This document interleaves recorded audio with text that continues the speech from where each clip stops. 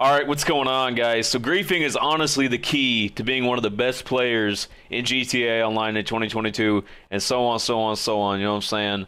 Until GTA 5 actually dies. But then moving on to whatever the next GTA is going to be GTA 6 or GTA 5 Part 2.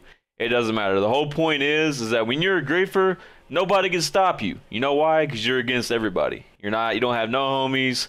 You just fucking killing everything you see, anything in your path, oppressor, jets, any dot. You know what I'm saying? People always assume that I look for specific people to go after. No, I just see dots. You know what I'm saying? Like I don't know if they're a noob. I don't know if they're a tryhard. Now, obviously, if you see motherfuckers, uh, the little shit blinking with a crate or a fucking truck or something like that right there, you just saw. You know, you know that's a fucking noob. You know what I'm saying? So that's obvious, but.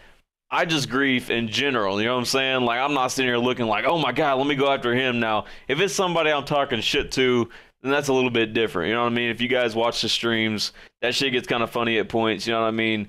Uh, but it just depends. Sometimes, you know, different sessions are different. Like, uh, talking shit is not as good in some sessions, or uh, just fucking gameplay in general. You know what I mean? Look at this bozo. He's about to get fucked up. God damn! Man, it's caught like six fucking oppressor missiles. He's never getting that back. He's Gotta hold that. Damn! Never getting that 2 0 back, son. Hold that shit.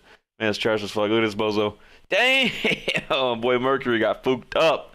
Mercury Ken head ass. It's just honestly pathetic the way these fucking noobs and these grinders are so clueless out here in the community in 2022. And it's just gonna get it's just gonna get fucking worse from here on out. You know what I'm saying? Like you have people starting every day and they're just absolutely fucking clueless and just have no idea how to play the fucking game. And they complain about getting griefed when they literally have no idea what they're doing. You literally go into any fucking lobby, half the fucking lobby's taken up on CEO slots by level fucking 50s and 60s and 20s and 8s. Like, what the fuck?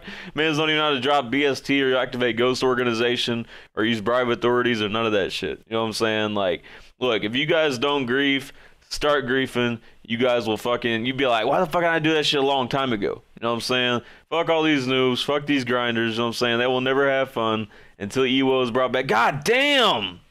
Man's turned into Jesus. Shit. Look at him, he spread his wings. Spread his fucking wings. Look at this bozo. God damn. Weaponized Ignis on top. He tried leaving with his stupid ass. He's got to hold that L forever. But I want to know what you guys think about this in the comments. Let me know. Look at this bozo. Let me know what you guys think. And make sure you guys hit that like button for me. I'd appreciate it. You guys have a good one. Peace.